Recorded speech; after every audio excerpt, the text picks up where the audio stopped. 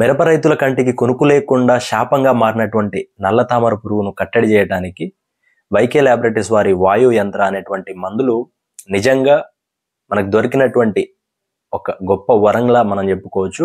అయితే ఈ మందుల యొక్క వాడేటువంటి విధానంలో లోపం కారణంగా వీటి పూర్తి ప్రయోజనాలని రైతులు అందుకోలేకపోతున్నారు.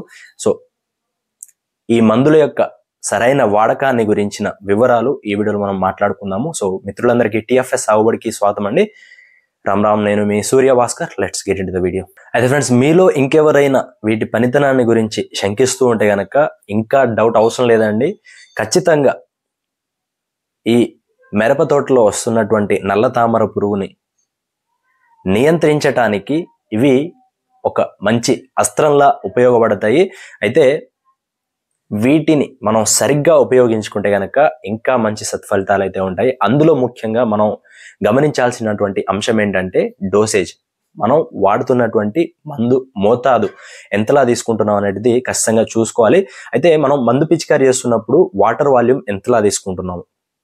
ఒక పది పంపులు మనం ఎకరానికి పిచికారీ చేస్తున్నప్పుడు ఆ ఒక ట్యాంక్లో మనం ఎన్ని లీటర్ల నీళ్ళు తీసుకుంటాను అనేది మనం క్యాల్కులేట్ చేసుకొని ప్రతి ఒక్క లీటర్ నీటికి ఇక్కడ ఎకరం చొప్పున కాదండి మనం ఎంత మందు పిచికారీ చేస్తున్నా ఎన్ని పంపులు మనం పిచికారీ చేసుకున్నా కూడా ఆ ప్రతి ఒక్క పంపులో ఎన్ని లీటర్లు పడుతున్నాయి ఆ విధంగా పూర్తి ఒక ఎకరం ప్లాట్కి మనం పిచికారీ చేస్తున్నప్పుడు ఆ వాటర్ వాల్యూమ్ ఎంత పడుతుంది అనేది మనం క్యాలిక్యులేట్ చేసుకోవాలి. మనం సహజంగా ఒక ఎకరానికి వంద లీటర్ల నుంచి నూట యాభై లీటర్లు కానీ ఇంకా మంచిగా పూర్తి కవరేజ్ చేసుకోవాలంటే కనుక రెండు వందల లీటర్ల వరకు కూడా మనం నీళ్ళని తీసుకొని ఆ నీళ్ళకి తగినట్టుగా మనం డోసేజ్ తీసుకోవాల్సి ఉంటుంది.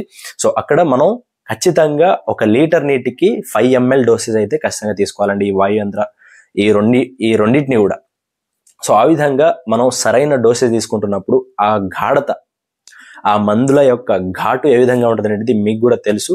సో మనకి మంచిగానే అనిపిస్తుంది. కాకపోతే ఆ పురుగులు ఏవైతే ఈ నల్ల తామర పురుగులు ఏవైతే ఉన్నాయో సో వాటికి అవి యాంటీఫీడెంట్ యాక్షన్ అండ్ అదే విధంగా రెపెల్లెంట్ యాక్షన్ చూపించడం ద్వారా అవి మన తోటలో కనిపించినప్పటికి కూడా పంటని ఆశించకుండా పంటని నష్టపరచకుండా అవి పూర్తిగా ఒక వన్ వీక్ లోపట కంప్లీట్గా వ్యానిష్ అయ్యేటువంటి అవకాశం అయితే ఉంటుంది.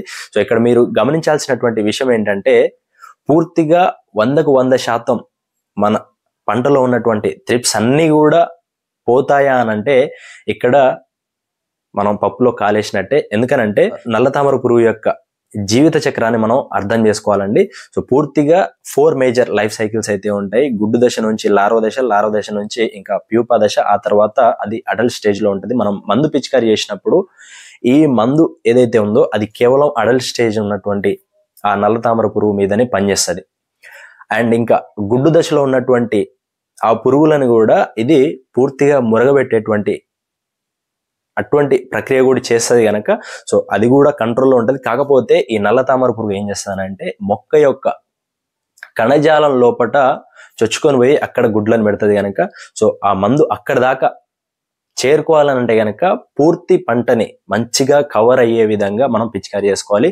అండ్ అదే విధంగా లార్వా స్టేజ్ అనేటువంటిది లార్వా కానీ లేకపోతే ప్యూపా స్టేజ్ అనేటువంటిది పూర్తిగా నేల లోపల జరుపు జరుపుకుంటుందండి. ఏ విధంగానంటే గుడ్ల నుంచి పొదిగినటువంటి ఆ పిల్ల పురుగులు అవి నేల లోపల జారుకొని పోయి అక్కడ అవి తర్వాత పూర్తిగా తల్లి దశలో ఉన్నటువంటి అడ స్టేజ్ త్రిప్స్ లాగా అవి మారి ఆ విధంగా మళ్ళీ మన పంట మీద కనిపించేటువంటి అవకాశం అయితే ఉంటాయి. అయితే కనిపిస్తున్నప్పటికి కూడా ఇక్కడ మళ్ళీ మీరు రిపీట్ చేసుకోండి. అండ్ ఇంకొక అంశం ఏంటంటే ఈ వాయు యంత్రాలతో పాటుగా ఖచ్చితంగా మీరు ఏదైనా ఇంకొక మందు కలుపుకోండి. అందులో నేను ఏం సజెస్ట్ చేస్తానంటే ఆక్సివేజ్ అండి. ఆక్సివేజ్ లోపల మనకి ఈ బవేరియా బాసియానా వటిశిలంలో కానీ అండ్ అదేవిధంగా మెట్రైజం అండ్ సాప్లే. ఈ మూడిటి కాంబినేషన్లో ఈ కన్సార్టియా మనకి అవైలబుల్గా ఉంది. ఇదే వైకే లాబొరేటరీస్ వారిది.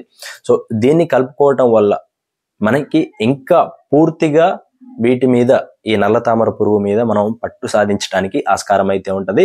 అయితే ఇవి పూర్తిగా లివింగ్ ఆర్గానిజమ్స్ కాబట్టి సో ఇక్కడ మనం పాటించాల్సినటువంటి ఒక ప్రికాషన్ ఏంటంటే ప్రికాషన్ కానీ లేకపోతే తర్వాత మనం పిచికారీ చేసుకున్న తర్వాత కూడా మనం పాటించాల్సినటువంటి జాగ్రత్తలు ఏంటంటే మనం ఈ లివింగ్ ఆర్గానిజమ్స్ని మనం పిచికారి చేస్తున్నప్పుడు బయో ఆర్గానిజమ్స్ చెందినటువంటి ఈ బయో ఇన్సెక్టిసైడ్ అంటే బయో మందులు కాదండి ఈ బయో ఇన్సెక్టిసైడ్ని మనం పిచికారి చేస్తున్నప్పుడు ఖచ్చితంగా కెమికల్ స్ప్రేస్ అయితే మనం మానుకోవాలి. సో ఇక్కడ ఈ విధంగా మనం కెమికల్ స్ప్రే చేయకుండా వీటిని మాత్రమే మనం పిచికారి చేస్తున్నప్పుడు ఖచ్చితంగా వందకు వంద శాతం ఈ నల్ల తామర పురుగుని మనం పూర్తిగా ఎరాడికేట్ చేసుకోవడానికి ఆస్కారం అయితే ఉంటుంది.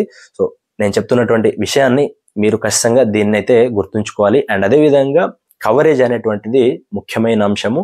ఆ తర్వాత ఈ విధంగా మనం ఈ పిచికారిని చేయటానికి ముందు ఏ మందు పిచికారి చేసాము అంటే కనీసానికి ఒక వన్ వీక్ అయితే గ్యాప్ ఇచ్చి ఉండాలి.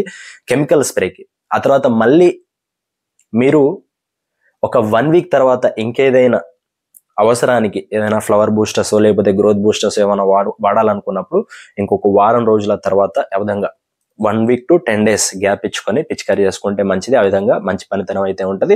ఒకవేళ ఉధృతి మరీ ఎక్కువగా ఉంటే గనక మళ్ళీ ఇదే కాంబినేషన్ని ఫైవ్ టు సెవెన్ డేస్ లోపట రిపీట్ చేసుకోండి. మళ్ళీ వారం నుంచి పది రోజుల కాల వ్యవధిలో వేరే కెమికల్ స్ప్రేస్ అయితే అస్సలు చేయకండి. ఆ విధంగా మనకి పూర్తి పనితనం ఉండేటువంటి అవకాశం ఉంటుంది. అండ్ ఈవినింగ్ టైం స్ప్రే చేయండి. సాయంత్రం వేళల మనకి నాలుగు లేదా ఐదింటికి ఆ టైంలో పిచికారి చేసుకోవటం వల్ల ఎండ తీవ్రత ఎక్కువగా ఉండదు. తద్వారా ఆ లివింగ్ ఆర్గనిజమ్స్ సస్టైన్ అవ్వటానికి బతికి ఉండటానికి ఆస్కారం ఉంటుంది. ఎందుకనంటే ఈ బవేరియా బాసి అనగానే లేకపోతే వట్టిశిలంలో కానీ అదేవిధంగా మెట్రిసం అన్సాప్లే అనేటువంటి ఈ క్రిమి కీటకాలు ఏవైతే ఉన్నాయో మరి ఎండ తీవ్రతని తట్టుకోలేవు. అండ్ విధంగా చలి తీవ్రతని కూడా తట్టుకోలేవు.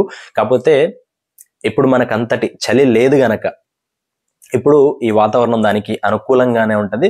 సో దాని యొక్క పనిని అది పూర్తి చేసుకోవటానికి ఇది అనుకూలమైన సమయం కనుక సో సమయానుగుణంగా ఖచ్చితంగా సమయం సందర్భం మనం పాటించాలండి. అటువంటి అప్పుడే మనకి మంచి ఫలితాలు అయితే డెఫినెట్గా ఉంటాయి. సో దీనికి సంబంధించి ఇంకేమైనా సందేహాలు ఉంటే కనుక కామెంట్ సెక్షన్లో తెలియజేయండి. అండ్ ఒకవేళ మరీ దారుణ స్థితిలో ఉన్నప్పటికీ కూడా ఈ వీటి యొక్క తీవ్రత మరీ దారుణంగా ఉన్నప్పటికీ కూడా పూర్తిగా నెల రోజుల షెడ్యూల్ అయితే ఉంటుంది. సో అదంతా కూడా మనం ఇప్పుడు మాట్లాడుకోవాలంటే చాలా లెంత్ అయిపోద్ది కాబట్టి మరొక వీడియోలో మళ్ళీ మనం డిస్కస్ చేసుకుందాము. So that's it guys ఉంటారనికి Ram Ram. This is Surya Bhaskar signing off అన్నా. జై హింద్.